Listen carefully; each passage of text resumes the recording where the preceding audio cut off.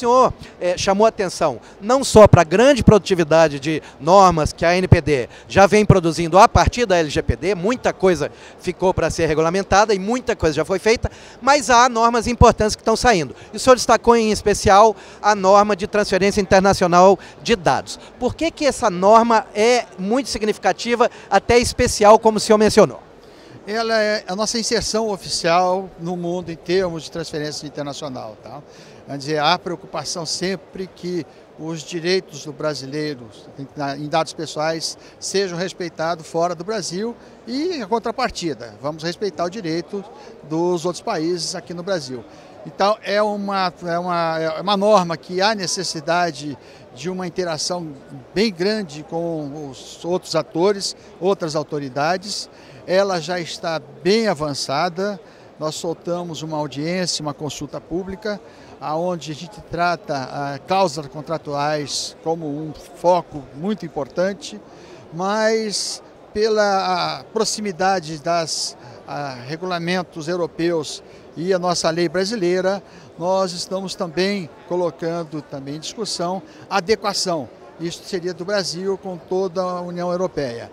Isto vai facilitar a diversos setores, diversos negócios que sempre emperram na inexistência de uma norma entre vários países. Isto acho que vai ser bem aceito.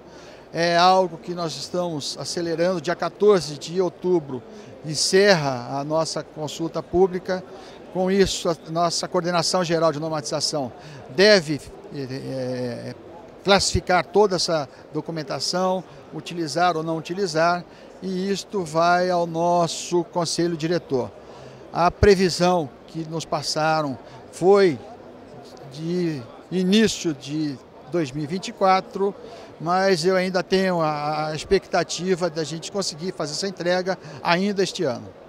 É, como o senhor falou, uma, um marco importante para a segurança jurídica, uma, que é, na verdade, a relação dos dados que não tem fronteiras, que é uma coisa muito importante, e essa relação com a, a Europa, até pela nossa proximidade eh, legal, digamos assim, como inspiração ao Brasil. Mas o senhor também mencionou outro ponto importante, inclusive que foi, acaba, a NPD acaba de abrir um, uma outra abordagem, que é de ter sandbox regulatório, ou seja, alguma forma de excetuar a legislação para dar espaço para o mercado. Como é que funciona isso, doutor Valdemar? Vamos lá, o que é um sandbox?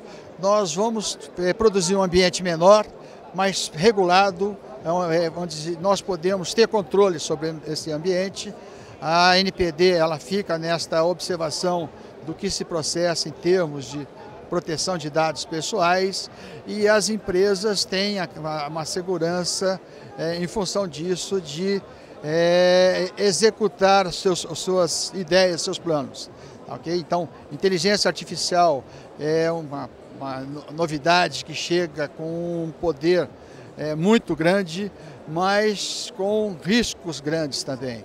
Tá? Riscos discriminatórios, é, riscos elevados, como, por exemplo, é, você querer testar um carro que não tem volante tá? tem, tem até um risco de vida.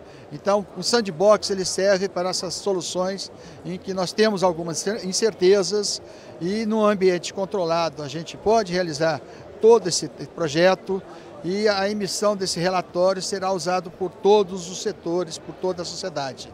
É, é algo que poucas agências, autoridades no mundo é, tiveram projetos, desse, acho que menos de 10 autoridades trabalham nesta fase e nós lançamos no dia de ontem a nossa consulta à sociedade. É, estamos trabalhando juntamente com o CAF, então já temos um financiamento deste projeto e anunciei há, pouco também, nós temos um segundo projeto de sandbox com uma empresa, mas isso ainda é, mantemos sob sigilo até concretizar mais pontos a este respeito.